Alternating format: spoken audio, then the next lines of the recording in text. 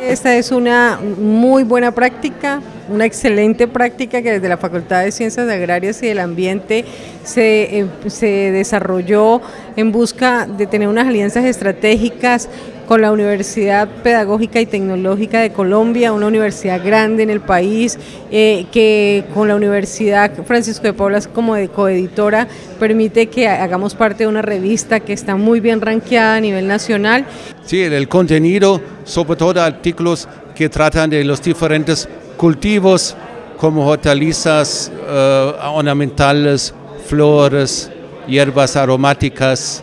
uh, y también uh, otros cultivos como cacao, también tuvimos artículos de maíz, arroz, esto sí caben todos los artículos, pero principalmente de los flores, frutas y hortalizas. Este importante logro nos va a permitir tener una revista ranqueada en A2, en, la, en el índice de Publindes, y adicionalmente va a impactar enormemente en los diferentes rankings que miden a las universidades nacional e internacionalmente.